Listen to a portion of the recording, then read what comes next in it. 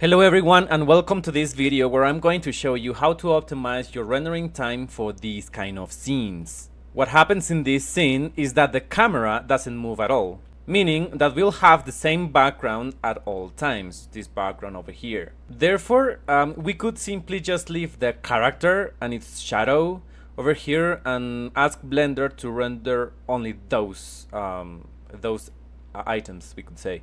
And later on, we would be making a composition for adding the character and its shadow to the background. Basically, what I mean over here um, is that you have uh, probably something like this. You get from Blender a sequence of images like this one, and you are going to add the background like the one over here. So the problem here is that if you do that manually, like you convert the sequence to a video and then you just add the background, the shadow doesn't look so nice. So actually we can fix that very easily using uh, Blender's compositor. So let's go back to Blender. And over here in Blender, what we are going to do first is just to leave the character and the lights. I have got this um, on different layers, so just uh, let's hide this. Uh, let's show the lights, and that's pretty much it. Now what we are going to do is to create a plane. In my case, I simply just have to scale it um, two and a half times, and that's going to be enough. Now, over here, we simply have to uh, make sure that under the render settings, over here in film, where is film? Over here, we said uh, we enable this transparent. And for this plane, make sure that it is selected and go here to the Objects tab. And over here at the bottom, Cycle Settings and enable Shadow Catcher. In that way, what we have done over here, uh, hold on, let me check. Um, I think I need to set the samples.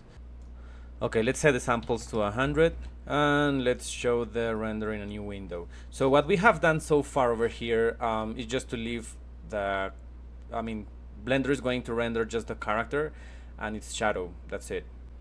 And now we have to ask Blender to add the background over here for every, every single um, frame.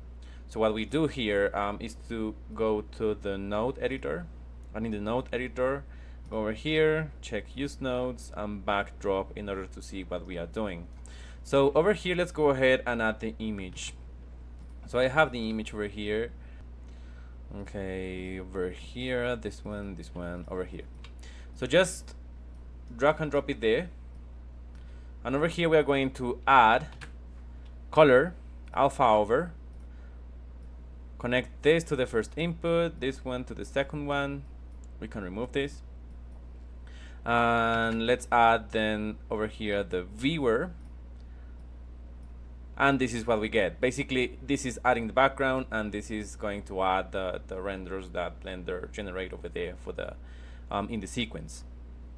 So you just need to connect this to the compositor in order to make sure that blender is going to render everything there and every single keyframe is going to be um, with um, this result.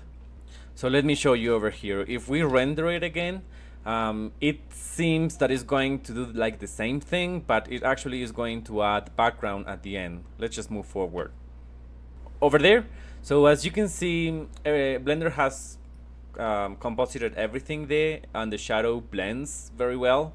So I really hope this tip is really useful for you. It has been really useful for me because uh, the rendering time is three times faster approximately in, in this particular case.